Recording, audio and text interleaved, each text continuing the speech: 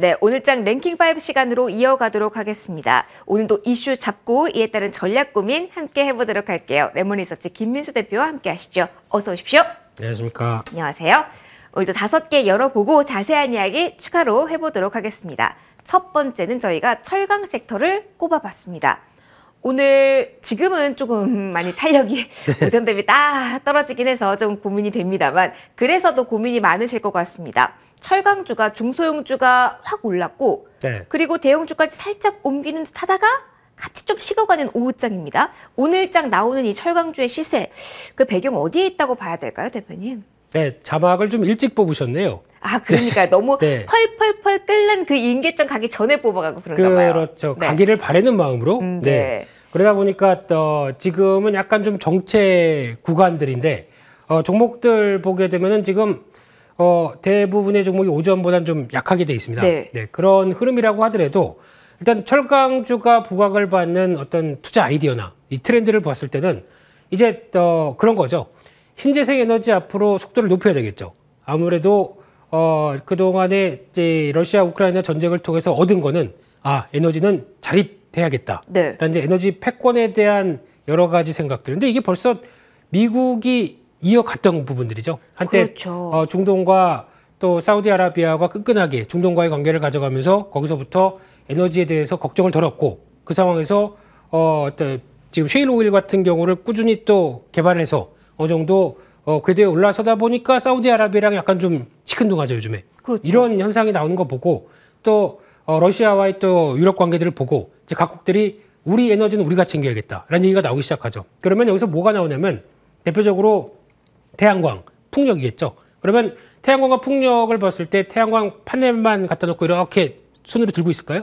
그럼 그 들고 있어주는 게 철강이기 때문에 철강 갈 수밖에 없다. 되게 애매한 위치에서. 들고 있는 게 뭐 이렇게 이쁩니까? 네, 이건 네, 네. 그, 그 들고 있는 게 네. 그게 어, 철강이 지지대가 필요하겠죠. 그런 어, 쪽도 풍력도 마찬가지고요. 그냥 어, 어떤 철대 하나 세운다고 바람개비 안 돌아가죠. 그렇죠. 네, 엄청나 많은 이런 수요가 필요하다라고 하게 되면 이런 쪽에서 수요가 커질 거에 대비를 하고 그거를 어느 정도 맞춰 가야 된다라고 하게 되면 각국이 모두 다 경쟁적으로 나올 텐데 당연히 철강 수요로 귀결되는 게 아니냐 이런 쪽으로 바라보고 있고요.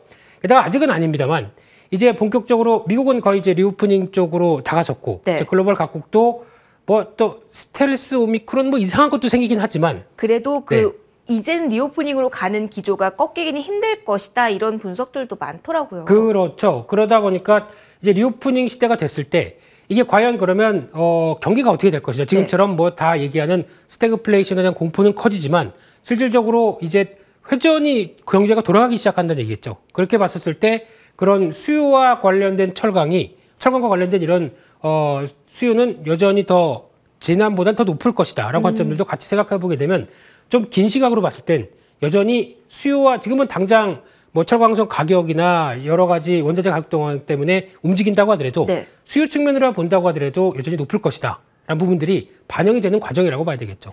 그러면은 네. 음, 철강 같은 경우는 건설에도 쓰인다는 관점에서 이런 내부적인 정책 수혜까지도 대표님 기대해봐도 될까요? 그거는 이제 조금 좀 더 앞으로 가면서 봐야 될 부분들인데 네. 어, 당연히 건설 현장에서도 많이 쓰이죠. 근데 건설만 많이 쓰입니까? 뭐 조선, 또 자동차, 뭐 여러 쪽에서 어, 강판이나 또 후판, 거기다가 또 철근, 뭐 어, 형강 이런 쪽까지도 다 많이 쓰이게 되면은 여기서 나올 수 있는 부분들은 대표적인 경기 민감 쪽이고 변화는 나올 수 있다 하지만 이게 아직까지는 여파에서 좀 덜 하다 보니까 네. 이런 부분들이 좀 어, 가연, 개연성은 있는데 당장은 좀 아니다 보니까 좀 기다리고 있는 입장이고 좀 긴 시각으로 봤을 때는 여전히 관심은 가져야 된다 이렇게 바라보고 있습니다. 긴 시각으로 바라봐야 되는군요. 네. 그러면은 중소형과 대형 섹터 좀 나눠서 좀 보도록 하겠습니다. 오늘 사실 중소형주가 오전에 주목을 받았던 이유 중에 하나가 네. 미국의 무역 협상 가운데 이제 쿼터제를 처음부터 다시 하는 게 아니라 그 안에서 세부 조율을 한다라는 측면이 중소형주의 더 호재다라는 분석이 있더라고요. 어, 예, 그게 어, 맞나요? 그게 이제 조금 좀 복잡합니다. 네. 지난번에 일본 쪽은 벌써 이 쿼터제가 아니라 이제 관세까지도 조정이 다 됐죠. 어, 그런데 우리는 아직까지 못 되고 있다라고 하게 되면 여기서 우리가 쿼드 가입 쪽으로 가게 되면 뭘 해줄게라고 하는 미국의 입장이 약간 좀 반영이 음, 되면서 네. 나오지 않나 싶게 되면은 이제 결국은 어 우리 쪽으로 와라라고 하는 미국의 유인책이 될 수도 있겠죠. 이런 변화 쪽에서 가능한 시나리오 같고 개연성은 있다고 봐야 될 것 같습니다. 그래서 그렇게 되면은 또 변화 나올 수 있겠죠. 그러면은 뭐 긴 시각으로 접근을 지금부터 시작한다고 하더라도 대형주를 보는 게 조금 더 수혜 측면에서 맞을까요? 아니면 탄력성 좋은 중소형 섹터를 택하는 게 맞을까요? 어, 해당되는 섹터에 밀접한 쪽이 더 낫다. 그러니까 신재생 네. 에너지 관련된 얘기도 말씀드렸다 보니까 지난번에도 한번 잠깐 언급된 뭐 상강 M&T 이런 쪽도 뭐 조선이나 또 풍력 관련된 쪽이고 마찬가지로 어, 말씀드릴 세아제강 지주도 어, 강관 쪽이고 거기다가 또 영국의 풍력 사업 같이 정부하고 있고 아. 그렇게 되면 이런 좀 더 밀접하게 움직이는 쪽이 어딜까라고 봤었을 때 거기가 더 맞지 않나라는 쪽으로 바라보고 있습니다. 신재생 키워드, 키워드랑 같이 갈수 네. 있는 철강 섹터를 바라보자라는 이야기를 해주셨습니다. 첫 번째 이슈는 여기서 마무리를 좀 해보죠. 저희가 이야기를 하고 있을 때 네. 2,700선이 코스피를 안착했다고 하는 소식이 들립니다. 이게 어우. 뭔가 이게 김 대표님 파워가 아닐까라는 생각이 드는데 그런 거 전혀 없고요. 예. 어디 뭐 비둘기 날아왔습니까? 다 예. 아유, 뭐 저는 다 알고 있습니다. 아, 그래서 예. 좀더 기분 좋은 흐름 지수와 함께 이어가 보도록 하겠습니다. 네. 마침 두 번째 이슈가 어떻게 보면 오늘 랭바에서 가장 따끈따끈한 이슈가 아닐까 싶은데요. 중고차 관련주를 좀 살펴보려고 합니다. 저는 이게 오늘 가장 핫한 뉴스 같긴 해요. 정부가 대기업의 중고차 진출을 허용했다라는 건 가장 큰 맥락에선 주목을 할 만한 것 같은데 네.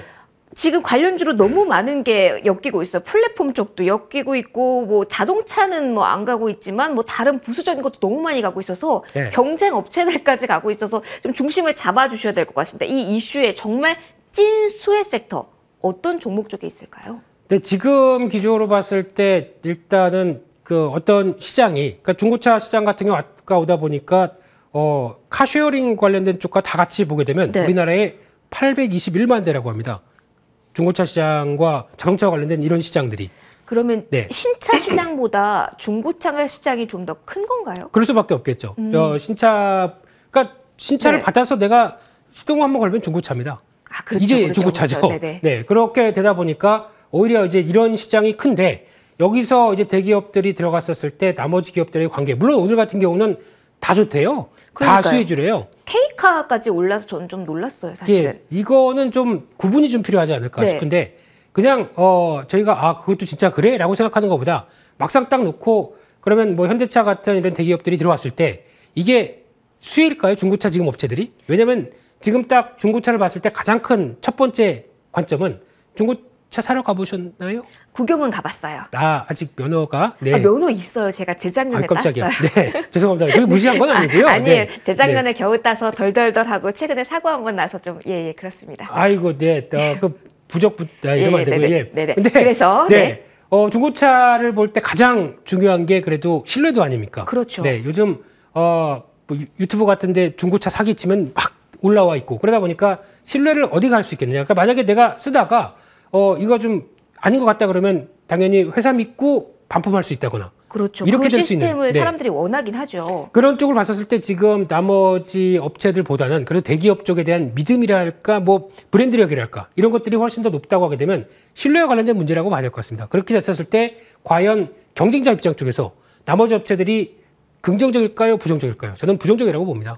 그러면은 현대차 쪽에서 직접적으로 수혜를 볼 수 있는 쪽을 바라봐야 된다는 건데 네. 저는 마침 오늘 증거자 리포트를 쭉 보다가 현대 글로비스가 나오길래 아 오늘 대표님 나오시는 날인데 이거 여쭤봐야지 했거든요. 네. 현대 글로비스 다른 이슈와도 엮였을 때도 추천 추천 또 추천해 주셨는데 추천해줄 때마다 이렇게 호재가 나와요. 네. 오늘 장에서 이렇게 나온 호재에서 현대 글로비스 이야기가 많이 나오거든요. 전략 수정을 좀 보유를 하신 분들도 많으실 테니까 좀 이야기해 주시면 대표님 좋으실 것 같아요. 네, 오늘 다른 종목들 네. 봐- 움직인다고 하더라도 결국엔 수혜가 글로비스가 맞다라고 생각이 들고 네. 있고, 근데 일단 좀 올랐죠. 올란 상황 쪽에서 이제 정고점 때까지 바로 가느냐, 뭐 이런 거 바라보고 있을 텐데 오르다 보니까 지금 이제 신규 관점 쪽에서는 좀 아니라고 본다고 하더라도 지금 기점 쪽에서 그나마 대형주 쪽에서 추세 좀 괜찮고, 게다가 어 만약에 지금 멀리 있는 사람이 서울에 있는 중고차 마음에 들어서 계약하려고 하는데 어 일로 보내주세요. 누가 할까요? 이런 자동차 운송 업체들인 글로비스가 하겠죠. 아하. 네, 그런 관점 쪽에서 또 요즘 뭐 케이크 같은 경우도 그렇지 않습니까? 온라인으로 많이 보는데 만약에 탁송이라고 그러죠. 보내주는 네, 자동차를 보내주는 이런 것도 다 이제 연결이 된다라고 하면 자체 시스템도 있겠지만은 현대차 같은 쪽에서는 다 글로비스가 맡아서 한다 라고 하게 되면 훨씬 더 어, 어떤 변화가 나오겠죠. 그러다 보니까 어, 가장 수혜는 글로비스라고 보여지고 있고요. 네. 나머지는 좀 더 확인을 하고 또 서비스가 어떻게 들어가는지 봐야 되겠지만 일단은 나머지 경쟁사 입장 쪽에서 너무 무리하게 오늘 대응하지 안 하셨으면 좋겠습니다. 현대 글로비스 역시 오늘장 즉각적인 대응이 아니라 눌림목을 활용해 보자, 좀 더 기다려 보자라는 이야기까지 함께 해주셨습니다. 세 번째 이슈부터는 조금 더 속도를 내서 진행을 해보도록 할게요. 네. 자, 로봇, 메타버스, 랠리가 지속될 수 있을 것인가? 특히 로봇주에 대한 관심이 많이 높습니다. 어제도 질문을 드리긴 했었는데, 음, 계속해서 이 동력을 가지고 움직일 수 있을지, 오늘 신규 상장주가 또 가다 보니까 로봇주에 대한 관심이 더 높아진 것 같습니다. 일단 가능성 어디까지 보시는지요? 네, 오늘 유일 로보틱스 상장하다 네. 보니까 뜨겁죠? 뜨겁습니다. 네, 정말 뭐- 여기가 뜨겁습니다. 네, 보통 그러다 보니까 아유 저거 왜 상장 안 했지? 아유 저 왜 청약 내가 안 했지? 청약 안 했지? 네, 해도 얼마 안 주셨을 겁니다. 네, 그런 쪽의 소형 쪽이었고, 근데 지금 이렇게 되다 보니까 지금 뜨거운 섹터 테마 계속 부각받는데, 어 지금 신규적인 관점 쪽에서 지금 아 여기서 내일 더 갈 거야라고 하는 것보다 지금 코스피보다 코스닥 시장이 좀 더 낫죠. 네. 그렇다는 얘기는 섹터와 종목들로 더 빠르게 움직인다는 얘기입니다. 그러면은 기존 섹터보다 다른 쪽으로 수단이 들어갈 가능성이 높겠죠. 그러니까 지금 여기서 잘못 샀다간 고점 잡을 것 같고요. 네. 그렇기 때문에 오늘은 너무 무리하게 대응하시지 말고 어느 정도 나오고 계시는 게 더 좋지 않나라는 쪽으로 바라보되 어제 말씀드렸던 또 SPG 네. 이쪽도 오늘까지도 세죠. 그러니까요. 네, 연속성이 나오는 종목이 많지 않은데. 네. 어, 근데 이런 쪽도 마찬가지로 일단은 정리하고 다시 보는 게 좋겠다. 그렇게 볼 때 LG전자 이것도 괜찮을까요, 이번엔? 로봇이죠. 네. LG전자 아예 브랜드가 있습니다. 클로이라고 하는 이름 멋있죠. 맞아요. 네. 어, 벌써 3종 나오고 있는데 삼성만 보다 보니까 LG도 로봇 하는데? 라는 생각을 가지게 되면 이쪽도 관심을 가지되 워낙 또 좀 무거운 종, 그 대형주다 보니까 네네. 이 동향이 직접적으로 영향을 안 받는 것 같고요. 앞으로의 사업 성과 또 지켜봐야 되겠죠. 좀 더 지켜보면서 하지만 관심 리스트에는 올려보자라는 이야기까지 해주셨습니다. 네 번째로 넘어가 보도록 하죠. 자, 인터배터리 2022가 개막해서 현재도 진행 중입니다. 전고체 키워드를 먼저 선점하기 위한 시장의 움직임이 지금 바삐 나오고 있습니다. 곧 상용화가 될 것이다 라는 이야기가 나오고 있는데 그렇다면 지금 관련주로 묶이고 있는 종목들 말고 다른 쪽에 대한 관심을 서서히 가져가야 되는지 이 전략 수정이 필요한지 궁금합니다. 어떻게 하면 좋을까요? 네, 저희가 전고체 배터리 하게 되면 앞으로 좀 먼 얘기 쪽으로 생각했다가 네. 요즘 이제 인터 배터리에서도 나오고 또 어, 최근에 미국의 퀀텀 스케이프라는 회사 있죠. 네. 이쪽에 어, 이번에 인터 배터리에서도 얘기를 했지 않습니까? 2025년 우리가 양산합니다. 그래서 뭐 30년부터는 본격화된다라는 이야기가 있더라고요. 네. 그러니까 거의 이제 스케줄을 그렇게 예상을 했었습니다. 네. 앞으로 한 10년 정도쯤이면 거의 되지 않을까. 근데 이제 양산의 채비를 갖추는 게 2025년이다. 그러면 생각보다 빠르네요. 그러니까요. 일 1년이 저는 후루룩 가더라고요, 요즘은. 네. 근데 여기서 중요한 게 네. 양극재, 음극재, 분리막, 전해질 이 구조가 아닙니다. 음극재가 없습니다. 아. 양극재 원래 양과 음이 만나서 이 세상의 조화를 만들어야 되는데 그게 아니라 이제 네. 고체화되면서 이게 좀 양극재만 아하, 양극재와 되는군요. 분리막이 네네. 영향 그 역할을 하기 시작하더라고요. 그래서 자세한 내용은 제가 이과가 아니기 때문에 네. 근데 어, 여기서 나오기 시작하게 되면 어, 좀 체계가 바뀔 수 있다는 쪽도 보여지고 있는데 그렇게 됐었을 때 지금 나오고 있는 국내 어, 뭐 CIS나 나머지 종목들 쭉 봤었을 때는 이게 진짜 전고체 배터리와 같이 갈 수 있는 쪽이냐는 아직은 잘 모르겠습니다. 그래서 좀 더 구체화된 기술 확인해야 될 것 같고요.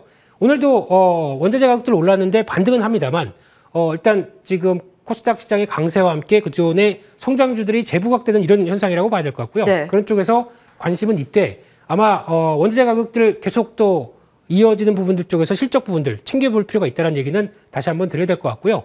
어, 오히려 저 뭐 지금 셀 업체 같은 경우도 실적은 1분기 부진할 수도 있기 때문에 이 점을 좀 염두에 두자 이렇게 말씀드리겠습니다. 그러면 뭐 이 안에서 지금 당장은 아니더라도 그래도 관심을 가져야 되는 종목이 있을까요, 대표님? 어제 뭐그 캔과 관련된 업체들이나 외관 관련된 네. 업체들 뭐 테이펙스 이런 것도 말씀드렸는데 뭐 비슷한 쪽에서 보면 동원 시스템즈 이런 것들도 같이 역할을 하지 않나 생각 들고 있습니다. 기술력의 변화와 함께 어느 쪽으로 매수세가 쏠릴지에 대한 고민도 함께 필요할 것 같습니다. 자, 이제 마지막 이슈 살펴보죠. 다시 움직일 수 있을까요? 바이오주입니다. 앞서서 저희가 바이오주 투심 이야기할 때 대표님께서 셀트리온 일단 결과 나오는 거 확인하고 그리고 대응하자라는 말씀을 주셔서요. 자, 일단 불확실성은 해소가 된 상황인데 투심 개선 아, 이제는 됐다라고 볼 수 있을까요? 아직도 아리송하네요, 대표님. 네, 어, 바이오주를 바라보면서 일단 한 1년도 넘은 것 같은데요. 네. 이렇게 지지부진한지. 어, 예. 네, 그러다 보니까 이제는 좀 뭔가 변화가 되지 않나. 아란 쪽에서 이 셀트리온 좀 큰 악재들 좀 지나가고 하다 보니까 지금 어, 종목들이 꾸준하게 좀 저점 만들고 올라온 종목들이 생기기 시작하죠. 네. 저희가 보통 예전에 알았던 뭐 어떤 저 신약 개발 업체들도 같이 올라오기 시작하고 그러다 보니까 관심은 가되 뭘 살지는 잘 모르겠습니다. 그런데 그러니까요. 여기서 중요한 거는 오늘 보니까 진단 키트 업체들도 오늘 강하더라고요. 뭐 시젠 코로나 키워드가 다시 좀 살아나는 느낌이었어요, 오늘은. 네, 외국인들 많이 사고요. 네. 시젠, 뭐 HD 바이오센서 그런 쪽인데 네. 이쪽은 오늘 어, FTS의 편입이 있습니다. 종가에 네. 거기서 나오는 수급도 있기 때문에 너무 그쪽에 몰아가는 것보다 이를 좀 감안하고 대응하자라고 보셔야 될 것 같고요. 나머지 쪽으로 본다고 하더라도 어, 어떤 변화들이 지금 기기 쪽이죠. 어, 그리고 헬스케어 기기나 이런 쪽이 조금 더 강하다. 특히 어, 실적 바탕이 되면서 움직이는 뭐 인바디라든가 네. 이런 쪽도 마찬가지고. 그래서 어, 또 임의용 기기 쪽 그리고 또 이어지는 치과 관련된 기기 쪽 이런 쪽도 생각보다 강하다고 하게 되면 시장이 일단 바이오주가 움직인다고 하더라도 어느 정도 성과 있는 업체들 쪽으로 좀 더 눈길이 가지 않느냐 아하. 이런 쪽의 변화를 챙기면서 보는 게 좋을 것 같고요. 네. 그런 관점에서 어제 급 등했지만은 여전히 변화를 봐야 될 뭐 ST팜 같은 경우 이쪽도 앞으로 어, 증설과 함께 가야 될 길을 좀 가고 있다라고 보게 되면 여전히 관심 있게 봐야 될 것 같고요. 네. 또 하나 HK 이노에는 어, 지난번에도 말씀드렸듯이 네. 약간 숙취해소 관련된 쪽과 또 이어지고 있는 어, 신약 라인들 챙겨보자 이렇게 말씀드리겠습니다. 선별적으로만 좀 챙겨보는 게 좋겠다는 말씀 해 주셨습니다. 다섯 개 이슈 봤거든요. 이제 원픽 골라보도록 하겠습니다. 대표님의 원픽은 네, 앞서 로봇 관련된 쪽에서 SPG 얘기는 다시 드려야 될 것 같고요. 네네. 야, 지금은 아니라고 하더라도 한 단계 낮춰져서 한뭐 12,500원대 이 정도 부분까지 한번 좀 눌린다라고 하게 되면 또 여전히 기업 내용들은 양호하기 때문에 게다가 또 국산화 쪽에 대한 발판들이 마련되기 네. 때문에 관심 갖자라고 말씀드리고 싶고요. 따라서 목표가는 한 15,000원대 직전 고점대 부근 그리고 손절가는 어, 지금 11,700원으로 말씀드리겠습니다. 네, 알겠습니다. 지금까지 레몬리서치 김민수 대표와 이 시간 함께 하셨습니다. 고맙습니다. 좋은 주말 보내십시오. 감사합니다.